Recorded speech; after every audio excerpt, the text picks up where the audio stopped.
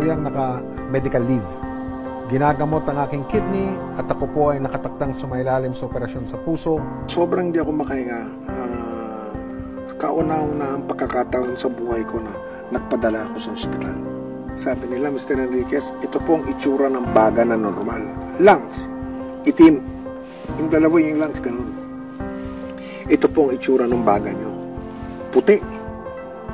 Lunod na sa tubig fluid. Kaya kayo hindi makahinga, sabi ganun. So, kailangan natin tanggalin yan. At isang paraan dyan, dialysis. Tapos, yung kidney ko pala, ay wala na, oh, porak na. Tapos no, tin- lahat ng, ng test ginawa. Tapos sabi naman ng doktor ko sa puso, Mike, may apat kang bara.